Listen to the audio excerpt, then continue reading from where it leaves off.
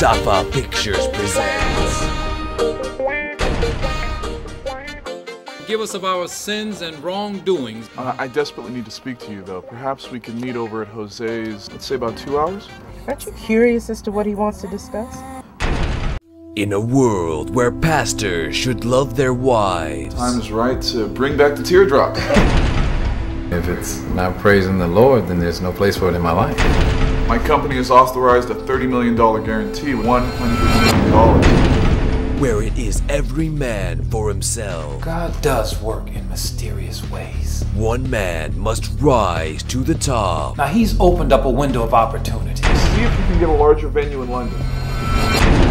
and I'm going to step through it. Don't let the evil one lure you from your path of righteousness. But he will encounter many challenges. Did you give the message that God gave you? Rescue me from my problems and my pain.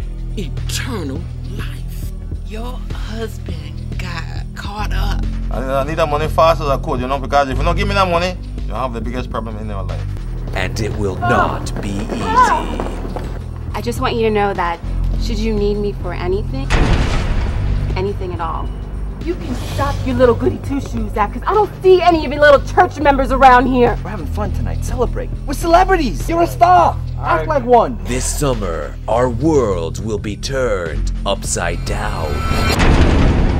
You promised to make me your woman. You promised to make me a superstar. I judge a man by his character and not his accomplishments.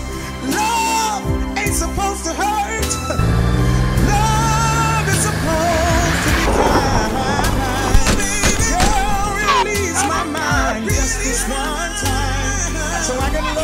crazy. You want crazy stuff like that? Honey, the devil is busy tonight. I'm a man of God, for Christ's sakes. Then act like it. Some material may be inappropriate for children under 13.